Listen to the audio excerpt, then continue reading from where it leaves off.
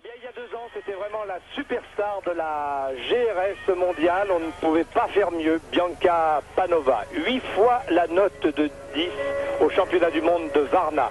Grosse déception à Séoul, elle n'a fait que quatrième. Et pourtant, c'était vraiment euh, à la voir vraiment la meilleure.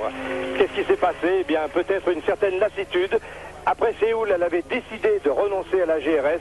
Elle revient ici, mais Dominique, il serait surprenant qu'elle gagne le titre.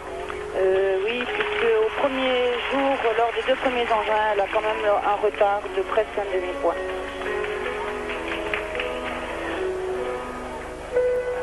Mais c'est quand même du beau travail.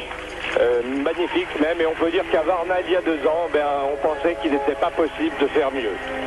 9,90 pour Adriana Dunavska, que vous venez de voir.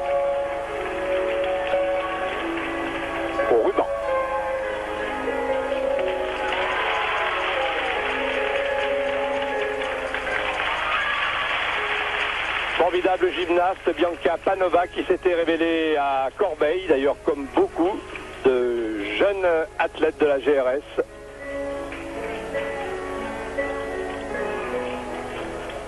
Bianca Panova qui a aujourd'hui 19 ans.